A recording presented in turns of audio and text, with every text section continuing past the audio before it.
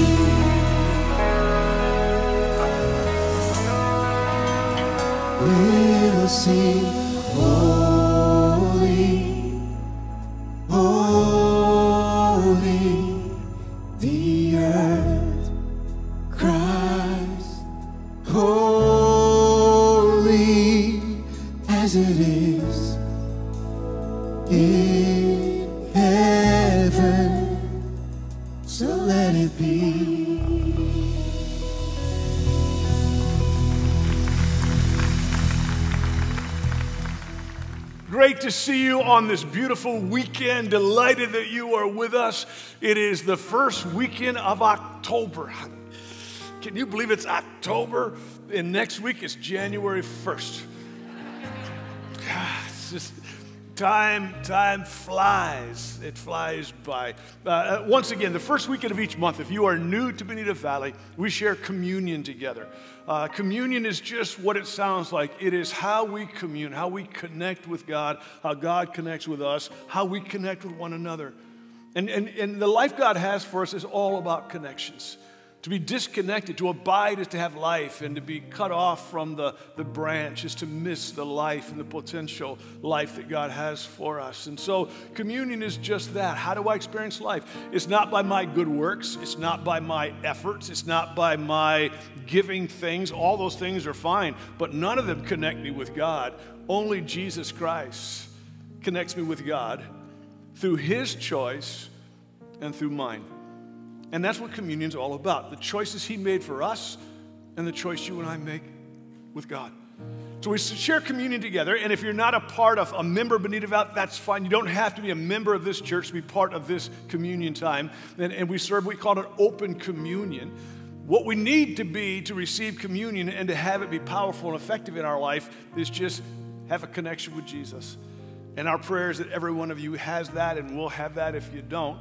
You'll find the communion cup right in the seat caddy in front of you. If you would just take that out, uh, we're going to share together. You'll find communion there.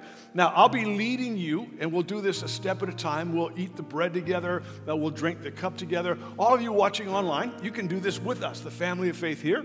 As our friends and family, literally around the world, you can take time, just push pause, and you can get some some crackers or bread and you can get some juice and then hit play and be part of this, this family time of connecting with God. Paul tells us on the night Jesus was betrayed, he took bread. So if you'll pull back the first tab, you come to a, a piece of bread. And when he took the bread, he broke it. Would you break the bread with me? He broke it and said, This bread is my broken body. broken for you. As often as you eat this, remember me. You say, How could I ever forget Jesus? We're remembering what he did for all the broken places in our life. And we've all been broken, not only in many ways, we have a world that's broken, and sin breaks us in countless ways.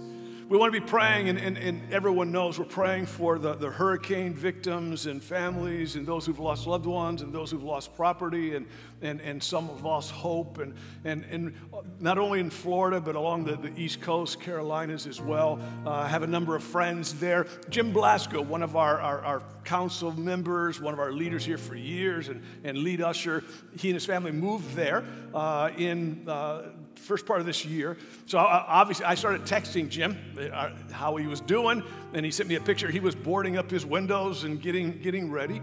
Uh, and then after the hurricane went through, he, he moved to Bradenton, Florida. It's kind of south, kind of the southwestern part of Florida. Uh, and then he texted me back and said they were fine. They actually never lost power, which like a couple of million people have, and that it, it's, his house was fine, nothing, no damage, just had to spend some time cleaning up debris. So if you're going to move to Florida, you want to go where he went. So that's like, there's one safe spot there, but that's, uh, we thank God that he's all right and, and he and, and Laura are doing fine. But there's others, and I have a friend of mine that pastors in Fort Myers and many were devastated in Fort Myers where the storm really hit strongly and, and, and some people lost everything they had. And so we want to pray for them. We not only pray for them, we also give. You'll hear more about it in a few moments. This is not the offering, but, but Pastor Mike, when he receives the offering, will talk about the fact that if, if you want to make a special offering, a giving toward just the devastating needs that are there, we do our compassionate giving for these kind of crises through a partner of ours called Convoy of Hope. Now, there are, are many good organizations, but there are also some organizations that are not so good. And I just want to encourage you. I encourage you to, to, to, give with your heart, but just make sure that who you're giving through is a, is a, is a very worthwhile organization. Uh, some of them take as much as 90% to pay themselves. Uh, Convoy takes 90% plus and gives it right to the need. And so uh, anything you want to do through Bonita Valley to Convoy, it goes there 100%. You can do it directly yourself. Uh, but I encourage you to, to, to, express your love and, and prayers, but do it with a, a very sound organization so you can make sure there's help. Uh, the power and beauty of Convoy is they partner with literally thousands of churches just like ours. So they have forces on the ground. They have people that are ready. Churches just step up and start passing out food and clothing and supplies, and they're there. They're already, they're already ministering in, in, in great, great ways. So I just tell you that to kind of give you a heads up because we want to pray and we want to care. We want to pray tangibly and care tangibly for people because Jesus cares about our brokenness. And that's again, communion's all about God being broken for our brokenness, wounded for our wounds, bruised for our bruises. That by his stripes, Isaiah writes, we are made whole. Let's pray together. Father, we thank you. We thank you that you care about our brokenness. So much so that Jesus was broken for our brokenness and wounds and losses. I pray that you would fill each and every one today with a sense not only of hope, but of healing. May there be the presence of divine healing spiritually, emotionally, mentally, physically, relationally, financially. I pray for each and every one today because communion is the receipt of the bill that was paid for us. And I pray for divine miracles in this place and, and those online, wherever you might be. I thank you for the miracle of the provisions, the healing, completing provisions of Jesus Christ. And we thank you in his name we pray. Let's eat the bread together.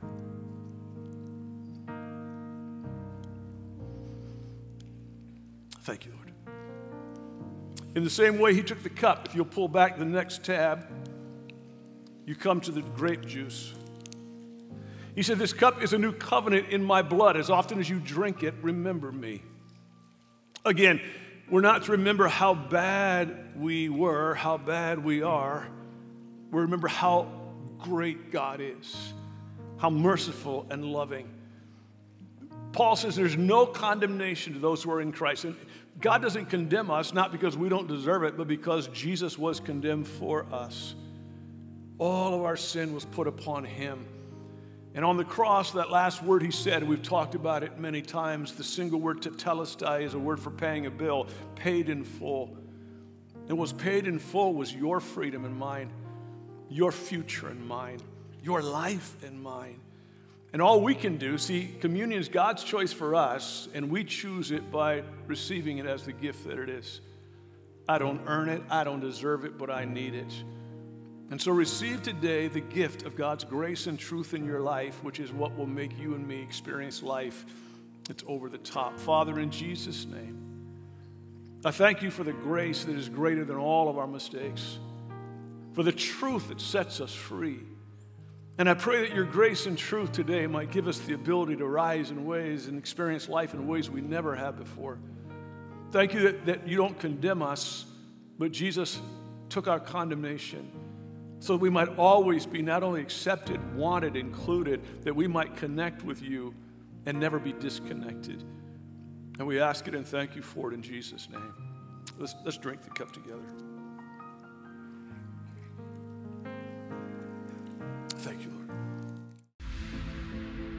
If this is your first time at Bonita Valley, we invite you to sit back, relax, and enjoy the service. If you want some info on BVCC, simply complete our online Connect card. Here's how it works scan the QR code you'll find in the seat pocket in front of you with the camera on your smartphone. Open the link that will take you to Connect Card. You'll find a number of connecting options, including first time guests, prayer requests, I want some info on a Bonita Valley ministry. Check the appropriate connection box you're after. Push submit, and we'll get back to you ASAP. And if you are a first time guest today, please stop by Guest Central at the end of this service and pick up a special gift bag we have just for you. We'd like to take a few minutes to tell you about some things coming up for you and your family at Bonita Valley. Are you ready for a deeper, more connected marriage? Bonita Valley is hosting a special eight session marriage course written by Montell and Kristin Jordan and hosted by Gracelyn and Patrick Miller. And it's called This Is How We Do It Making Your Marriage a Masterpiece.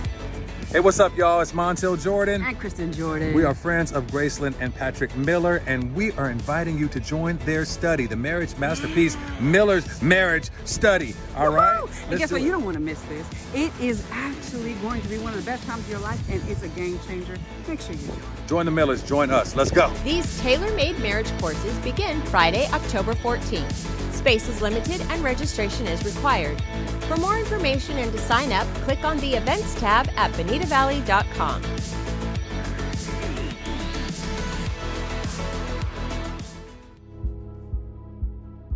If you're a believer, the Bible teaches that water baptism is the next step in following Christ. It's an act of obedience and a public statement that we believe and belong to Jesus. Our next opportunity for water baptism happens on Sunday, October 23rd at 1 p.m. in the Life Center gym. A baptism class will be held at 8:15 p.m. in the Worship Center on Wednesday, October 19th, following the Wednesday night service.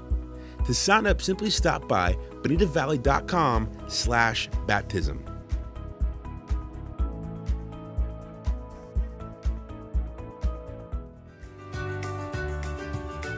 We form our habits and then our habits form us. In our next 201 seminar, Moving Towards Maturity, Pastor Jordan will share four essential habits we need to form that will shape us for a great life. The Spiritual Life and Development Seminar happens on Sunday, October 9th from 5 to 7:30 p.m. in the Family Center. A casual meal and childcare will be provided. To sign up for 201, stop by bonitavalley.com slash base class.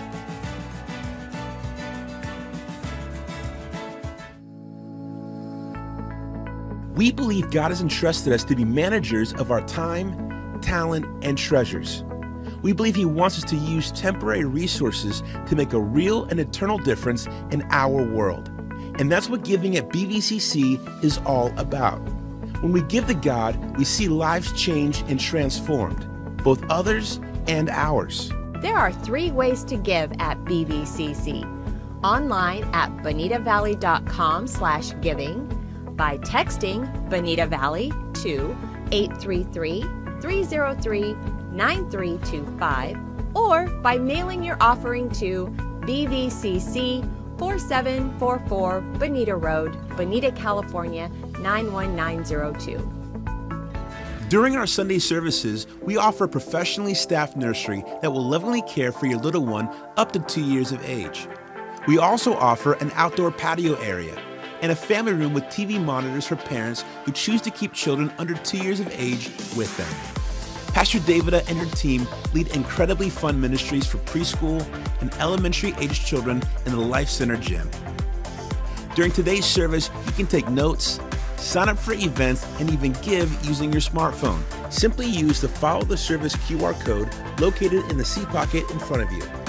Thanks for spending part of your weekend with us.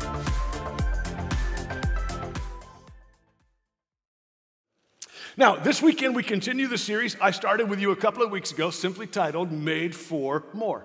And no matter what you've experienced, at what level, there is more for you in God, more than you've ever dreamed, hoped, or imagined. That's what Scripture tells us. And, and we're talking about some of the more that we're made for in this series. And I want to set up where we're headed this weekend with a story. Uh, it was a Saturday morning. A mom was making pancakes for her, for her boys. And while she's making the pancakes, her, her two sons started arguing over who would get the first one. And, and so they're arguing, and, and the mom says, Boys, boys, if Jesus were here, what do you think he would do? Don't you think he would say, You go ahead and have the first pancake, and I'll wait for the second one? The older brother turned to his younger brother and said, You be Jesus. That'd be funny if we didn't do the same thing. But we often do, and, and not just about pancakes, we do about parking places. you be Jesus, I want this place. Uh, true story, Pastor Jordan, my son Jordan, a few weeks back, he was at a, a, shopping area, which is always dangerous for parking. And he was partway into a parking place, and a lady coming the other direction said, You be Jesus. And she hit him straight on the side because she wanted the parking place. You be Jesus, I want the parking place. Uh, we do it when it comes to uh, status and, and where we fit in the pecking order of life. And, and, and that pecking order phrase comes from the chicken world. And they actually do this. Chicken have, chickens have a pecking order. If you have several chickens and you throw some feed in, they will peck each other until they figure out who eats first, and then who eats second, and who eats third. Uh, my, my nephew, who's raised some chickens, was talking about the fact that you bring a new chicken in with the old chickens, and sometimes they kill the new one because it doesn't fit in the pecking order. It's literal. And that doesn't just happen with, with small brain birds, it happens with people. It happened with Jesus' disciples. They didn't argue and quarrel over pancakes, but they did argue and quarrel over their place, their prominence in Jesus' kingdom. And, and in fact, on the way to the Last Supper, we shared communion together, which is not what the Last Supper, that, that's the Passover meal, but the communion kind of commemorates that in part. On the way there, they're arguing about who's greatest and who sits where in the cabinet of Jesus. And then he serves them in an amazing way, which teaches us something very important about the fact that, that, that God's word tells us that he indeed does want you to be great. He really does. You were created to be great. That's one of the mores you were made for. And you'll never find in God's word that He puts down someone who wants to be great. He wants you to want to be great, but genuinely great. And He shows us how to do that. And He shows us that, watch, in Mark. In Mark chapter 10, Jesus says this, verse 43 Whoever wants to be great, he never puts that down, does he? Don't want to be great, have no ambition. That's not what he says. If you want to be great, that person must become a what? Servant. Whoever wants to be first, he doesn't put it down. It's fine to go after being first. Among you must be your what? Slave. That is what the Son of Man has done. He came to serve, not to be served. And then to give away his life in exchange for many who are held hostage. Never does Jesus put down the desire for greatness or to be first. He encourages it, but in the right way. See, in the world, to be first depends on how high can I go. In God's kingdom, it's how low can I bend. Paul writes powerful in, in, in, Philippians chapter 2. He talks about Jesus, who was equal. Jesus, God the Son, God the Father, God the Holy Spirit, the Trinity, they're all equal but didn't cling to his divine privileges and power, but he emptied himself and humbled himself. He took the ladder down instead of the ladder up. He descended to greatness rather than climbed to greatness. Greatness, genuine greatness, is not how high can I go, it's how low can I bend. Genuine greatness is not how many people can serve me, it's how many people can I serve in Jesus' way, with Jesus' love, with Jesus' with Jesus' grace. It's not how many serve me, it's how many can I serve. And here's the good news about genuine greatness everybody is meant to be great, and everybody can be great if we understand what it means to serve like Jesus served. And that's where we're going just for the next few moments. Now, let me tell you right up front this is kind of counterintuitive. This is not how the world defines greatness. It's not how many of us have defined becoming great in whatever we're attempting to do. And there's a lot of books about greatness, and there's not as many books about serving, but biblically speaking, serving and greatness go together because the more you serve, the greater you become. And I want to share with you just three biblical fundamentals about serving and about greatness. And, and, and online, you can print out the notes, and in the house on your phones, you can follow along on your phones. You just want to make sure you silence them. But here's the first fundamental, here's the first key to genuine greatness. Every one of us is divinely called to serve.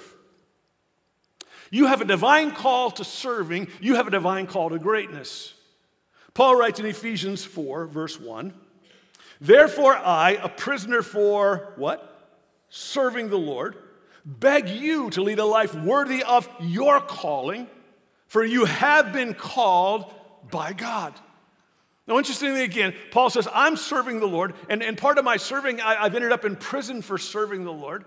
Sometimes serving the Lord, there, there are, are, difficulties and pains involved with it. We'll talk more about that in a moment. But he says, I'm serving God, I'm serving you, but you've been called. And when he says, You've been called, your calling, he wasn't writing to ministers, he wasn't writing to, to, uh, to missionaries, he wasn't writing to what sometimes we call full time ministers. Listen, if you're a believer, you're a full time believer, you're a full time servant of God. We're all full time. It's, it's 24 7, it's who we are. And what we do flows out of our identity, who we are. But he says, every single one of you, and he's writing to a local church in Ephesus, and every single one of us at this local church called Bonita Valley have a divine calling. Your first calling is to belong to God. He calls you to belong to Him, to belong to His forever family. Your second call is to the family business. You're called to the family, and then you're called into the family business, and that's the, that's the calling of God on our lives. Paul writes earlier in Ephesians 2, verse 8, that you and I are not saved by good works, lest anyone can boast, look what I've done, but we are saved for good works, to do good works. I'm not saved because of what I've done, I'm saved because of what Jesus has done. And once Jesus has done a work in me, now he works through me. And I'm called and created for good works. And in fact, Paul says this happened long ago. Like how long ago? It happened before you were even born. Let me show you from Scripture Jeremiah 1, verse 5. God says to Jeremiah, Before I shaped you in the womb, there's a whole message there. Listen, every, every embryo in a womb is God shaped, God planned. Every child in the womb. I knew all about you. Before you saw the light of day, I had holy plans for you. Now, when I read this verse, one of the things that strikes me, it's almost as though God could not wait for Jeremiah to be born and grown up. God could not wait for you to be born physically and spiritually, and He can't wait for you to grow up and be part of what He's planned for you to be and do. Uh, it reminds me like when our kids were little, they're now adults. But when Jordan was first, when Jordan was born, listen, I like babies. Babies are, are amazing, but I like them better when they grow up. Now, I like that, okay. And some of you just love the infant stage. We have a nursery full of them. There's a place for you just to love. You don't have to keep having them to love it. So, anyway, I'm just telling you that, that, that, that babies are, it's, it's magical, it's amazing, but I wanted him to do something. And I, and I wanted him to go places, and I wanted to be able to play ball and do things. And, and, and when he was little, I got him a, a, a car, like a battery powered car, a little before he was ready because it kind of scared him, but it was cool. So I thought, well, he'll grow into it. And, and so, it, and later he, he loved it. And I, and I don't know if he remembers, but I'll never forget his 13th birthday uh, because I, I, took him. We're living in Springfield, Missouri. A, a, a good friend of mine had a, an older Corvette, a red Corvette, like a 450, whatever it is, 450 something. And, and it, it, sounded cool and it was, it was fast. And so for Jordan's birthday, I said, let's, let's go for a ride. So I, I pick him up in this Corvette and I take him out into like just the country because at Springfield, there's just like nothing out there. And before, before we did what we were about to do, I gave him the line that every dad gives don't tell your mother. Okay, like don't tell your mom, you know, until we've survived, don't tell her. Um, and I let him drive it. And we're on the we're out there like, like nobody was around, and we survived. So it, it, we made it. Um, but for listen, I would have loved to have driven a Corvette at 13. So he got to drive it. Now he didn't keep driving it, but he got to drive it, and I think that's part of his addiction to cars. But, but I, I, helped him because it was fun. It was fun to see him grow up. It was fun to see him be able to do things that were fun for, for me to do and to share it together. And, and I have a sense that God has the same anticipation, the same excitement with us. I can't wait for the plans I have for you. I can't wait till you see what I purpose for you. I can't wait till you're a part of the family business of changing lives and destinies. I can't wait. I formed you. I thought of you before you lived, before you saw a single day. I had them planned out. That's what God says. You are called. You are called before you even know you were called. You have a call, a divine call from God. Now, what's important to understand is when we look at the people that God called and used in great ways throughout Scripture, we discover, discover they were incredibly diverse. Some were young, they were just teenagers, even younger. Some were very, well, some were older. I don't use the word old anymore. They're older. They're just older than young. Uh, so some were very young, some were older, some were men, some were women, some were, were, were outsiders, some were insiders, some were rich, some were poor. They had, they, there was so much diversity in who God chose and who God called, but there's one thing that every person God has ever called has in common. You have it in common, I have it in common. Here's one thing that every called person has in common we are all unqualified. If you've ever felt like, I can't do this, you're right, you can't. And neither can I. And, and, and, and seriously, many of us, you, know, start hearing pastor talk about, I'm called. We're like, yeah, he's called, she's called, I'm not called. You are called, and you are unqualified. You, you've got to understand those two things go together. In fact, Paul says that exact thing about himself. Watch this Ephesians 3, verse 8. When I came to presenting the message to the people who had no background in God's way, don't miss this, I was the least qualified of any of the available Christians. If you've ever felt like you don't have it, join the club because none of us do. Everybody God has ever called, He didn't call because they were qualified. In fact, it's amazing the people that God actually called and used. Let me just give you a quick little list, and hopefully, this will make some of us feel better. Abraham was on Medicare. Moses had a speech impediment. Joseph was an ex con. Rahab had a history of sexual misbehavior. David was a homicidal murderer, adulterer. Elijah was bipolar. He called fire down from heaven one day and was suicidal the next. John the Baptist ate bugs. Thomas doubted. Martha obsessed over housekeeping and food preparation. This is not Martha Stewart, this is Martha in the Bible. Jonah was directionally challenged. Samson was relationally challenged, girl challenged. Zacchaeus was vertically challenged and integrity challenged, and he worked for the IRS, so nobody liked him. Jeremiah said he was too young. Sarah said she was too old. Peter was a poster boy for spiritual attention deficit disorder. So if you feel unqualified, join the club.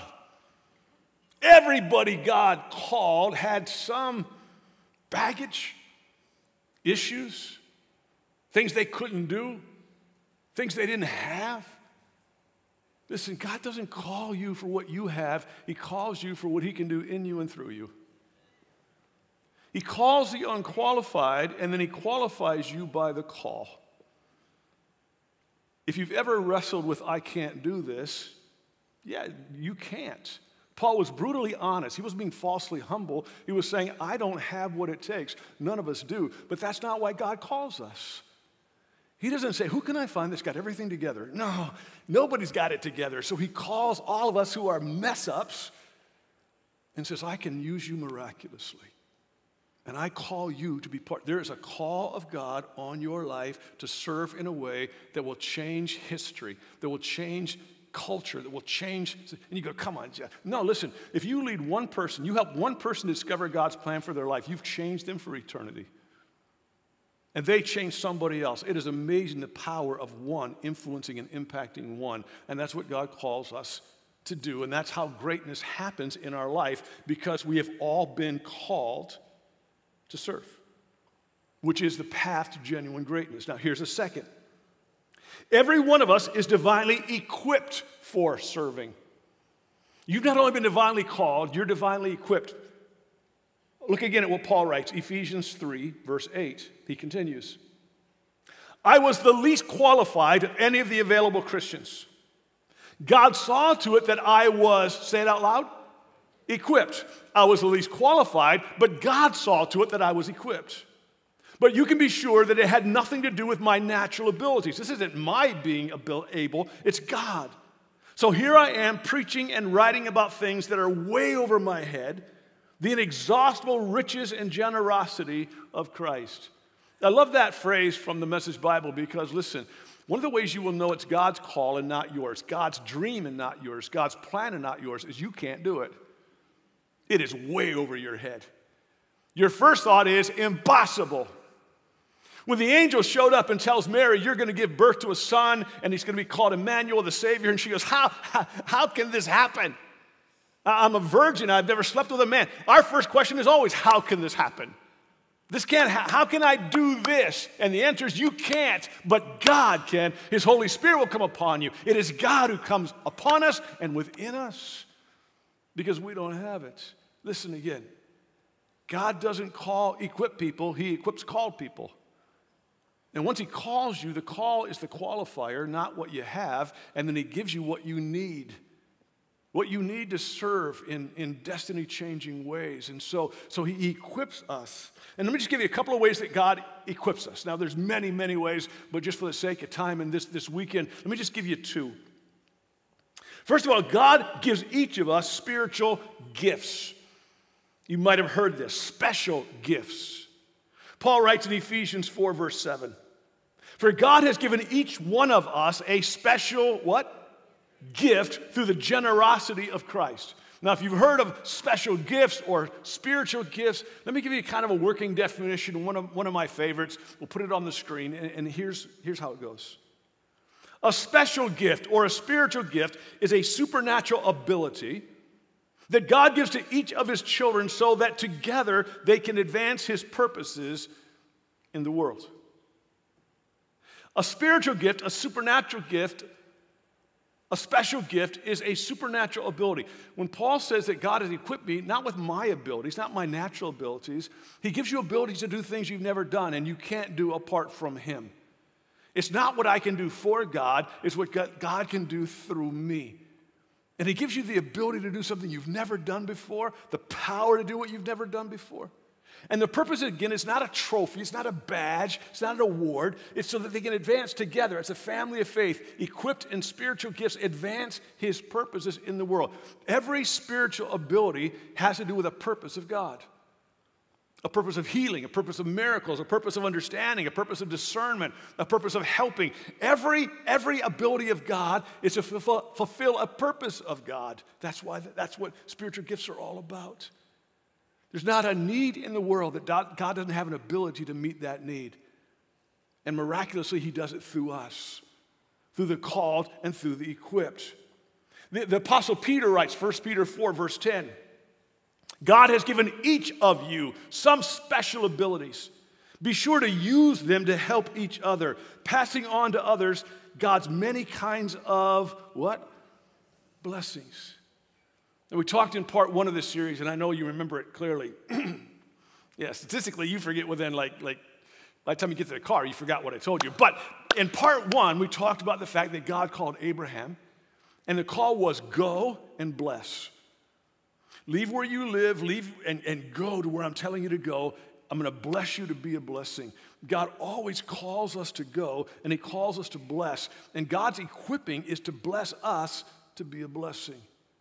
So, so here, let me just get really practical. Here's the challenge of, of, of the spiritual special gifts God gives us. Whatever God has gifted you to do, do it. If you're gifted to organize, organize. If you're gifted to sing, sing. If you're gifted to teach, teach.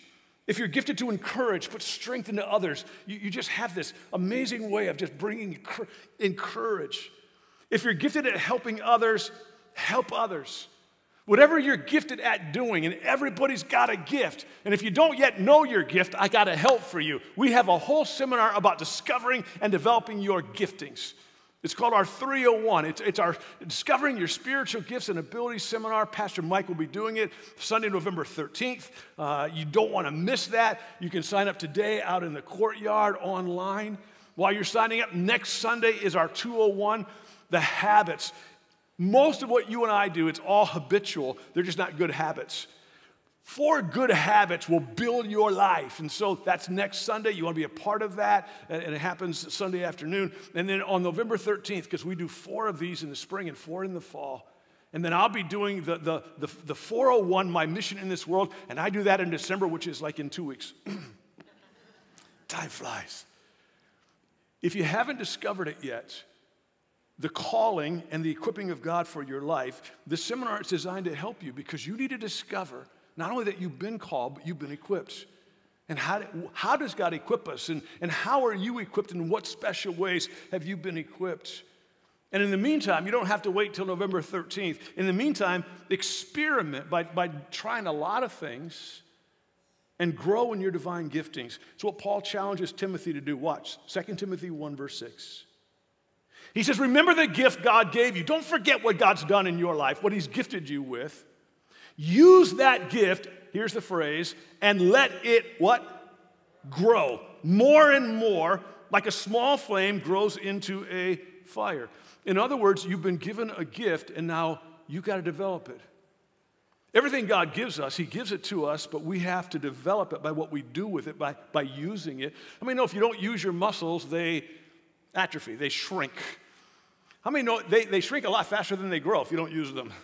It's amazing how fast, where did my muscles go? And so you got to keep using them. And in fact, how many of you know that most people, one of your arms is larger than the other arm? Because you use it more. One of your legs is, is a little bigger than the other leg because it's the one you push off on. One of your eyes is stronger than the other eye. It's amazing how many, there are things in our body that are stronger because we use them more.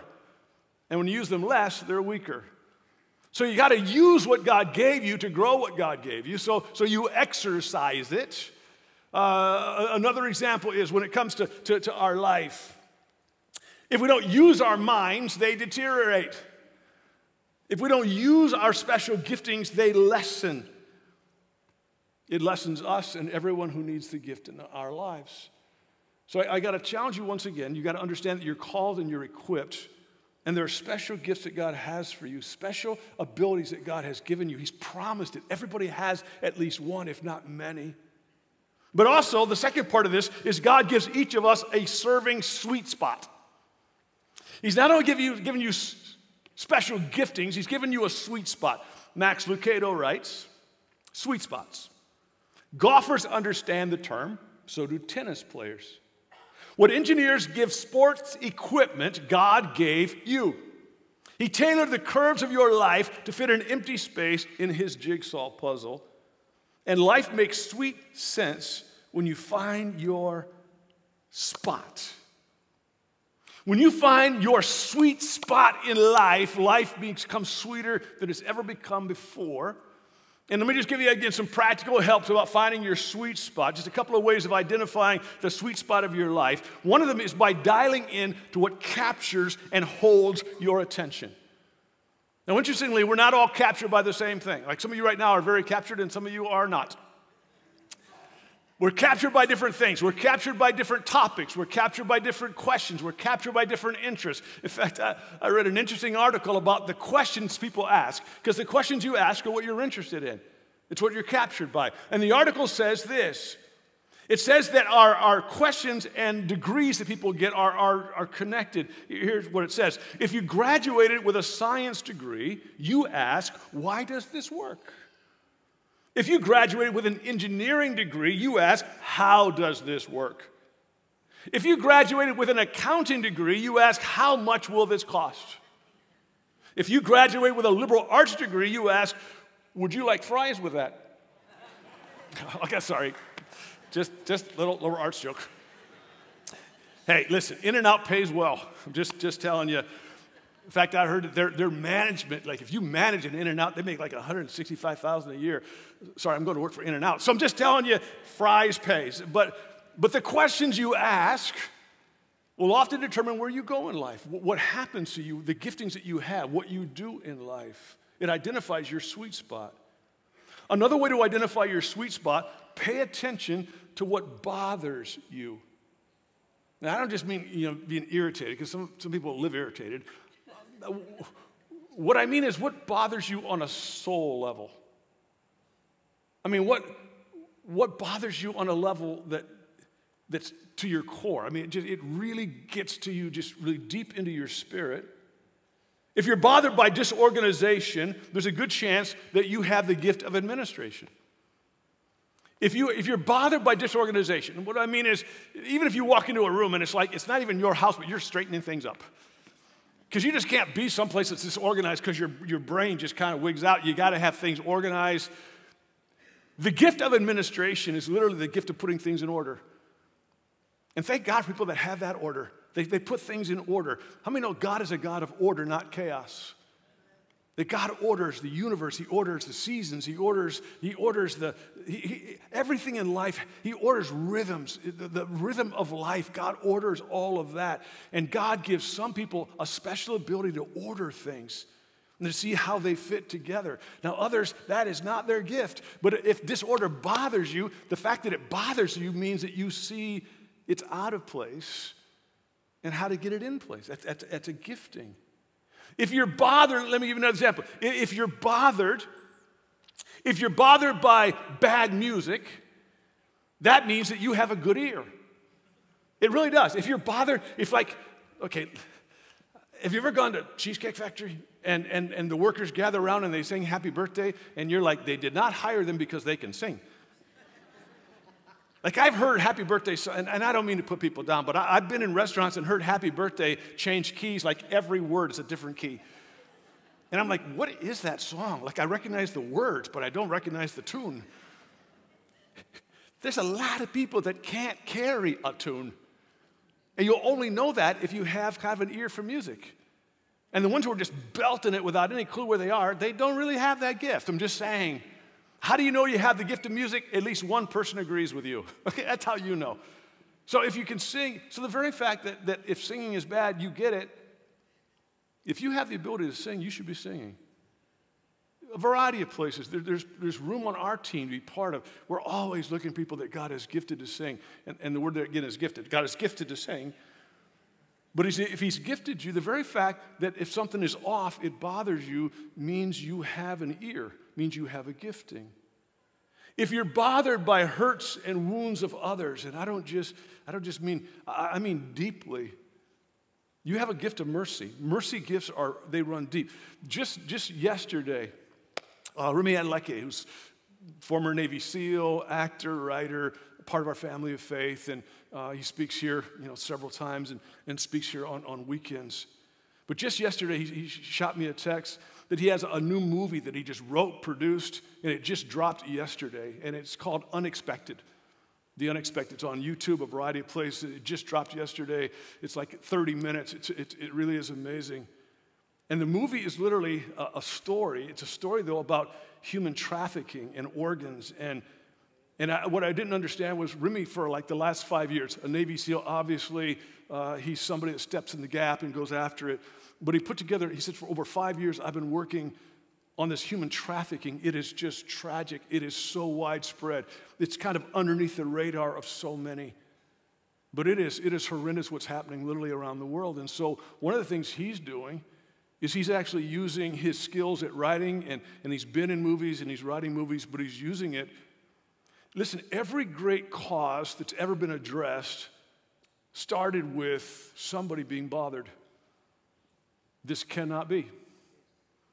This racism cannot be. This inequity cannot be. This, this hunger cannot be. This, this, this lack of education cannot be. Something inside of somebody rises up and says, This cannot be. Pay attention to what bothers you, especially on a soul level.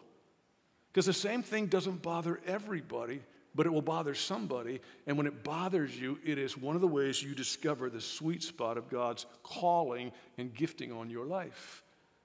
So pay attention to that in your life. Pay attention, and I'll just move quickly. Like my wife has a lot of this, and, and gift others of you do. Uh, intuition, not just women's intuition. What are you intuitive about? What do you tend to sense before others are sensing it? What do you tend to, to see before others are seeing it? And it's like you look around like, doesn't anybody else get this? You have intuitiveness in areas in which you are gifted. You will hear things others don't hear. You'll see things others don't see. And, and the reason is because you've been given a, an intuitive, a discerning gift, the, the ability to see things and, and feel them and understand them, maybe before others do, because you're, you're that watch person on a wall. You're that person who lets other people know because they don't see it yet, they don't feel it yet, they don't hear it yet. So pay attention once again to what bothers you. Pay attention to your intuition. Pay attention to your sweet spot in life. Pay attention. Uh, another way we discover our sweet spot by evaluating our serving experiences and effectiveness. When and where did you serve last that just captured your heart? I don't mean it was easy, because many times it is not easy, but it captured you. I'm to know there's such a thing as being good and tired. All right, let's try that. Apparently, you don't. Let's try this. Um, how many of you have ever worked out and you've worked out or you've run and you're, you're, you're sweating and you're wiped out, but you feel good? That's when you still aren't buying it. But, but you can. There's a good and tired because you've done something good and you're tired doing good things. I love the fact the Bible's so honest about Jesus getting tired. He did. He came to do good, but he got tired. He sat on the well by the, in the Samaritan town when his disciples went in to get takeout food because he was tired. And when the woman came, he asked her for a drink because he was thirsty. The Son of God, fully God, but fully man, and he got tired and thirsty. When he was in a boat in a storm and the disciples think they're going to die and he's sleeping, you got to be tired to sleep in a storm. So he got tired, he got thirsty, he got hungry. So, so that happens for us as well. So understand that serving doesn't mean that you'll never have, no, no, you'll, you'll have those but God supplies us in every way. And what happens is when you serve where your sweet spot is, it will energize you. There'll be an energy you feel. There'll be a, there, there's something about it energizes your life. What have you done that energizes your life? Again, on a soul level. Evaluate the effectiveness of it. How, how did it work out? What fruit was there from it? Those are all serving experiences and results that are sweet spot indicators. So you've been called divinely by God, you've been equipped divinely by God with special abilities and a special sweet spot that it's up to you and me to discover and develop. And then one more. Every one of us is divinely blessed by serving. Jesus said, It is more blessed to give than receive. And some of us go, Yeah, you be Jesus. Now, he's just seriously. Those who bless, it is greater the blessing of giving because then what God will do in your life, when you give, God will give more through you than to you. It is better to give than to receive. And those who serve are often so much more blessed than anyone they bless. Almost every time one of our teams comes back from a mission trip to, to where we, wherever we send, and we've got another team going down. We're going to go in October. It's been moved back to, to, to November to go down to Mexico with YWAM Youth with a Mission. And they'll build a house in one weekend. And by the time you leave, a family that had no house will have a house. And there'll be a lot of tears and there'll be joy. And, and every, every single time I can bank on it, when people come back from serving, they will say, I got more than I ever gave. You will get more blessing from doing what God has blessed you to do than anybody you serve. Because one of the keys is Jesus promises there's more blessing to giving than receiving. And let me just give you a couple of ways this actually works, just so you'll know. Let me give you just two. Here- here's the first one serving is joy producing. When you serve, you will experience a joy that you'll have in no other way and, and on a level that nothing else will provide. In sports terms, serving is called getting in the game. Now, I played sports pretty much all my life. I mean, literally. Um, my dad, there's some pictures, and, and when I, there's a picture of me, and I'll, I'll, not show it to you, but I'm one, I'm one, I'm one year old, I'm, I'm in a diaper, that's why I won't show it to you. I'm in a diaper, and I'm holding a golf club. I'm a year old, and I got a golf club. Thank God the next year I'm two years old, I got a golf club, but I have clothes. Now I'm two years old, and I have clothes, and I'm holding a golf club. And then at three, I'm holding a basketball. Like every picture when I was a kid, I was holding some sports deal. I, I started playing organized sports in fourth grade. So I've played sports all my life. And let me just tell you from personal experience, I've, I've started, uh, I've been a starter in sports, and I've sat on the bench, and starting is a whole lot more fun. Sitting on the bench, you got a great view. But there's nothing like being in the game. In fact, being in the game will change everything. Let me, let me help you with this with a, a video, so just, just watch the screens. Greece Athena High School in Rochester, New York has a new, most unlikely hero, a special ed student by the name of Jason McElwain. Let's keep it going. Jason is the basketball team manager. For the past couple years, he's been assisting coach Jim Johnson, helping with whatever the team needs. And go! Get them motivated and uh, hand out water and just be enthusiastic. Enthusiastic, to say the least. Despite being born with autism, Jason's father says his son has never had a problem expressing himself at basketball games. You know, I was always concerned that he might get a technical and they lose a game because he, you know, start yelling or whatever. Let's have a hard practice tomorrow, all hour and a half, and let's get ready for Arcadia. Let's go. One, two, three, two. Because he has been so devoted to the team, for the last game of the season, Coach Johnson decided to let Jason actually suit up. Not to play necessarily, just to let him feel what it's like to wear a jersey. At least that was the plan. But with four minutes to go in last week's game, Coach Johnson stood up and pointed to number 52, Jason McElwain. After years of fetching water and toweling off other people's sweat, Jason was actually in a game. His first shot was a 20 footer from the right baseline. Was it close? Did you almost make I just, it? I just airballed it. I'm like, just, dear God, please, let's just get him a basket. His second shot missed too, but the third was a charm. A three point no doubter and Jason wasn't done yet. Not by a long shot. If I wasn't there to witness it, I wouldn't have believed it, you know. You caught fire. I just caught fire. I was hot as a pistol. Jason ended up shooting six three-pointers, one right after the other. He had 20 points total, and each time a shot went in, his teammates and the crowd went a little crazier.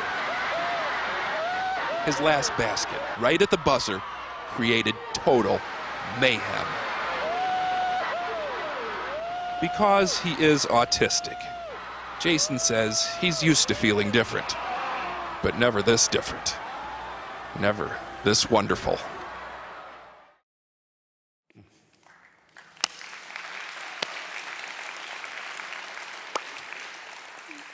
What I love about the story, so many levels, He's used to feeling different because of his autism, but never this different, never this wonderful. Why did he feel so wonderful? Because he got in the game. It was one thing to, to, to, to, be around the team and with the team. It was another thing to be in the game. See, there, there are many of us who've been around the team, and been, but we've never been in the game. If you want to know where the joy is, the joy is in the game. The joy is when you and I we don't settle with being a spectator or a manager. We want to be a player. We want to be part of what God is doing. And I can't encourage you enough. And, and, and we had a few weeks ago, and, and dozens and dozens of you signed up for many, many ministries. But signing up's not a one time deal. It's like, I don't know where you found your sweet spot or if you found it yet. But I can't encourage you enough to get in the game because that's where the joy is. I'm not going to tell you that, that, that there's not times that you'll be tired and, and, and, and that'll all happen, but you will have a joy unspeakable. You will have an energy source in you. Now, let me show you a picture. This is, this is Jason McElwain now, like he's grown up some. And, and actually, now he's, he's a volunteer coach on a team, and I think like last year they went like 17 and 1 or 17 and 2. Uh, works with other teams again. He still works with sports and, and, helping others. And now, because of the notoriety he got from that clip that went from CBS and ESPN and so many outlets, uh, he got invited and he speaks, kind of a motivational speaker for others who are challenged in a variety of ways. And his challenge to the challenge is go for it. Just go for it. It's exactly what he did. And, and does he have his challenges? No doubt, but he's in the game. And he continues to experience a level of enthusiasm and life that, that you and I have got to, we got to get in what God is doing. So that's my challenge. Do you know where you fit? Are you there? If you're there, keep going because God is using you and you're going to have a joy. But if you're not, you want to get in the game because that's the first way to understand joy is one of the blessings of serving. And let me, let me give you one more.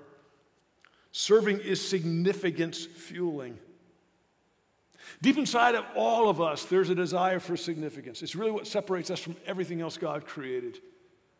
No other creation of God thinks, why am I here? And what's my purpose in life? You do. Because you were created with one and for one.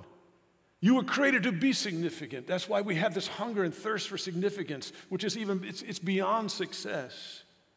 We want to do something that matters. We want to feel like our life matters, and God put that in us. You are a one of a kind person, created, called, and gifted for a one of a kind purpose. There's never been one like you, there'll never be another one like you. You are one of a kind, called, equipped, purposed by God. And when you discover that, when you go for that, you'll begin to discover the significance that only comes out of being and doing what you were called and created to be and do. And here's one of the things you'll find yourself saying when you find your sweet spot, when you get in the game, when you start using what God has divinely gifted you with, you, will say something like this I was made for this. I was made to be a mom. I was made to be this. I was made to be that. I was made to, I was made to serve here. I was, I was made to, I was made to teach here. I was made to, inf- I was made for this. And, and the, the truth is, you were. When you find what you were made for, that's exactly what God made you for. Because the more God made you for is genuine greatness. Genuine greatness, again, is not how high can you reach, it's how low can you bend. Genuine greatness is not how many people can you get to serve you. Genuine greatness, Jesus says, if you want to be great, how many people can you serve? Jesus said, That's what I came to do. I didn't come to be served, I came to serve, to give my life a ransom for many. So the Bible tells us once again that there's more for us. And we experience the more God has for us, the greatness God has for us, by understanding three foundational truths about serving and greatness. And the first is you've been divinely called to serve. You've been divinely called to serve, and that serving is your path to genuine greatness. You're called not because you're qualified, you're called because God qualifies you.